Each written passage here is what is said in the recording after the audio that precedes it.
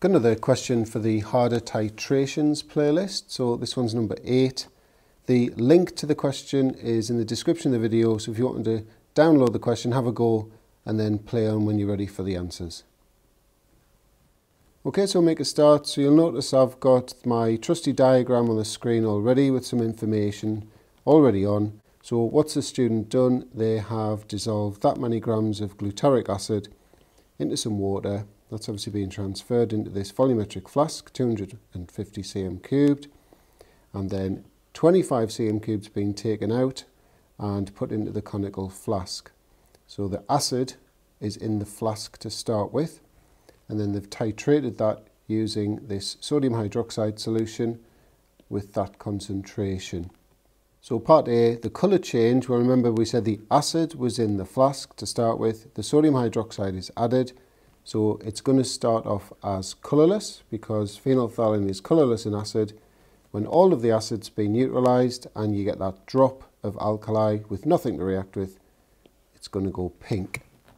So it's a colourless to pink colour change. Moving on to the titers, the important thing to say here is the titers must be recorded to the nearest 0.05 centimetres cubed. So there's the four numbers there, but you must have these zeros here, and obviously that needs to be there as well. Why does the student carry out a trial titration? Well, a trial titration gives you an estimate of the titer, or gives you a rough idea of the titer. Next part, we've got to calculate the mean titer the student should use for the analysis of the results.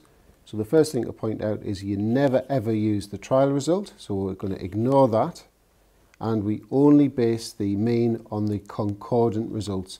So their results to within 0.1 of each other. So you can see that these are concordant. This one's just that little bit too different. So we're going to base the mean on those two. So obviously the mean of those two is 18.25. Next part, we've got to calculate the percentage uncertainty in the titer for titration 1. Remember that had a value of 18.05 centimetres cubed. Okay, so the thing to bear in mind here is the uncertainty is present in each burette reading. So there was an initial burette reading and there was a final burette reading. So the titer is obviously the difference between those. So the uncertainty, this plus or minus 0.05 cm cubed, needs to be doubled. And we're going to divide that by the measured value, so the 18.05, and multiply it by 100 to turn it into a percentage, which gives an answer of 0.55%. So don't forget about that doubling because the titer is based on two burette readings. So moving on to the main part of the question now, the titration calculation, where we've got to find the value of N in glutaric acid. Let's give it the nearest whole number. I'm going back to my diagram and I'll just do the calculation on here. So if you think about what we're aiming for in the uh, question or the calculation, if we can calculate the MR of this thing here, we can take off what we do know about it, so it's got these two COH groups, and then the remaining mass, so obviously uh, the mass of the N lots of CH2. So we can get the value of N from that. So that's the sort of plan of attack. Okay, so we calculated in the previous question the mean titer was 18.25 centimeters cubed. So the first thing we're going to do is work out the moles of sodium hydroxide that was used in the titration, concentration times volume, but remember that's got to be in decimeters cubed. So that's coming out at 4.38 times 10 to the minus 3 moles. Now going to use the ratio, the mole ratio in the balanced equation. So we can see we know that. We want to know how many moles of acid we've got in here. Well, it's going to be half as many.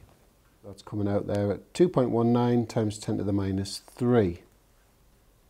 So if we go back this way, we want to find out the moles of glutaric acid in the volumetric flask. 250 cm cubed, which is effectively the moles in that 2.891 grams. So how do the volumes compare? That's a tenth of that, so there'll be 10 times as many moles of acid in here. So we just take the um, power to 10 to the minus 2. So now we know that there's 2.19 times 10 to the minus 2 moles of glutaric acid in that mass, we can work out the MR. That's coming out at 132. So now we need to take off the mass of the bits we know, so the two COOH groups. So they have a combined MR of 90. So that means the CH2N part of the formula has an MR of 42. So how many 14s go into 42? 3. So N equals 3. So we're moving on to the final part now. So we've got this um, student who's washed the pipette out with water instead of the glutaric acid solution. So obviously you're meant to wash these things out with the solution that's going to go into it, but the student hasn't. They've, they've used water. So imagine there's a tiny bit of water in the bulb there. So what will they be? What will be the knock-on effect on the titra? Well, if you think about the glutaric acid the student's going to have measured out in there, it's going to have slightly less moles of glutaric acid in than it should have. So the acid is slightly more dilute or slightly less concentrated.